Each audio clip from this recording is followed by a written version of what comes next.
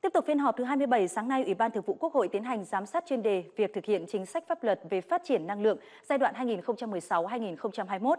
Các thành viên Ủy ban Thường vụ Quốc hội đề nghị làm rõ có hay không thực trạng lợi ích nhóm trong hợp đồng giá điện, đồng thời kiến nghị năm 2023 làm rõ nguyên nhân gây ra khoản lỗ của các tập đoàn, tổng công ty nhà nước phát triển năng lượng. Báo cáo của đoàn giám sát chỉ rõ những hạn chế cho thấy mục tiêu bảo đảm an ninh năng lượng quốc gia còn nhiều thách thức, đặc biệt đã xảy ra tình trạng thiếu xăng dầu cục bộ năm 2022, thiếu điện một số thời điểm của năm 2023. Nhiều dự án điện bị chậm so với quy hoạch, kế hoạch.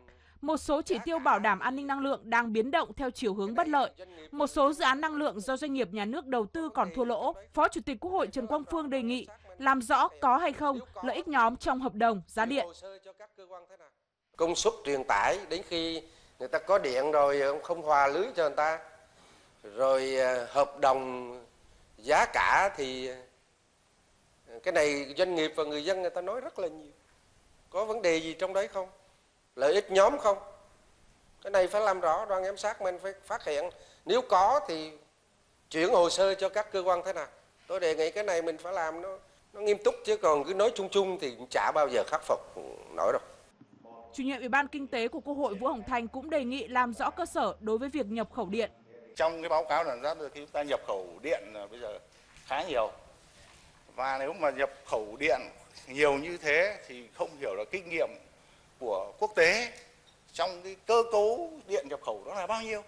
Chứ còn chúng ta bây giờ nhập khẩu nhiều mà bên kia người ta này có chuyện gì đó, người ta cũng không cấp cấp điện được cho chúng ta, thì cái an ninh năng lượng của chúng ta sẽ là như thế nào ví dụ sản xuất than mà giảm quy mô công suất đi thì cái bù đắp cái nhập khẩu nguồn than để cho các cái nhà máy điện ở trong nước chúng ta hoạt động nó sẽ như thế nào Giải trình tại phiên họp, Phó Thủ tướng Chính phủ Trần Hồng Hà cho biết, Chính phủ đã nhận ra điều này và Thủ tướng Chính phủ đã chỉ đạo chưa cần sửa luật điện lực vẫn có thể quy định được giá thị trường của điện, đặc biệt cho phép mua bán điện trực tiếp và tính toán thêm một số chi phí liên quan đến vận hành, điều tiết, phân phối.